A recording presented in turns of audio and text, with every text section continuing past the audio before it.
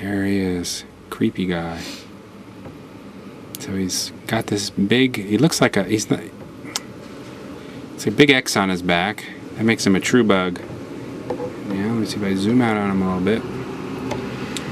He's not going to like this that much, but let's see if we can get a look at him. He's probably going to jump when I do this. No, he doesn't like it one bit. Well, anyway, that's a better view of him. Mm-hmm. Totally. There's his front legs. You can see he's got these big grabber arms in the front. And he's off. And he's going to go nuts for about 10 minutes now. He's kind of camera shy, but he's really beautiful when we found him in the lake. And here he's kind of looking like he's out of his element. Oh no. He's getting there. Got all sorts of critters in here. Now I'm going to see if I can pick him up. There he is. Well, he is not liking this one bit. Out of focus. There he goes. Not at all. Yeah, but I can't keep him. Could you turn that dial there a little bit? Just loosen it. Mm-hmm. And now try to tighten it way up. And now let's see if we can get him in focus. Is he in focus? Kind of. Totally. Giant water bug. Now you can put a little Found light, on Nick's birthday. put a little light on him if you want. His shell is really hard when I hold him this way, and because he's a true bug, he doesn't have any tr- chewing mouth parts. But he's he's got like a um. Now look in there, and yeah, until the light looks really nice. Kind of, you know, you're you're, you're aiming below him.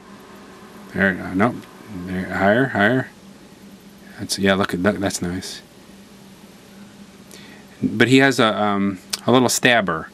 So they, these bugs stab plants, or if they're like this, a predaceous guy in the water, then he'll just stab another bug that he finds. So he's got like sort of a spike instead of a mouth, and he sucks up his food. So that's all bugs do that. Beetles are not like that. They eat. They have chewing mouth parts. So anyway, what's he called again? I cannot remember. A giant water bug. giant water giant bug, water bug. which sounds really ugly and disgusting, but um, But he's really cute. yeah, I, th- I thought he looked really nice.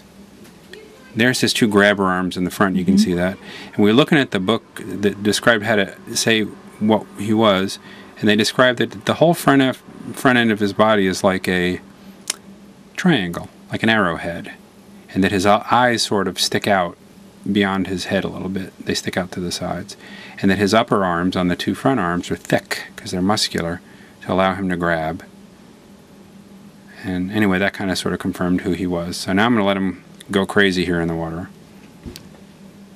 And he's offing. That's it. Isn't it great? Yeah, he's cool. It's great. Oh, he's just floating over there, waiting for us to let him go back in the lake when we're done with him. There he is, the bum. There's your other guy too. The community of animals here. That's the oligochaete worm. That's an aquatic earthworm. That is a predaceous diving beetle going by. Kind Where's the other one? The little one? We don't know what the little one is. Uh, which one? Oh, there mites way over there. The water. Mm-hmm. way in the top left-hand corner. You can barely see him. There's a little unidentified diving beetle went behind that shell.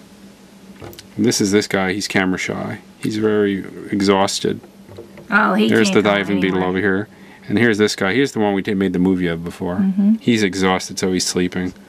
But he, you can, he moves around too. Oh, he must be pooped. Don't, don't spike my hand. And there's the beetles over there. They're sort of hanging out on the. There they go. They found each other. They're buddies now. Yeah. Go where he goes. They swim underwater, and they instead of regular bug legs, they have like feathered legs. So it sort of helps them swim. They propel themselves along. Okay, that's it.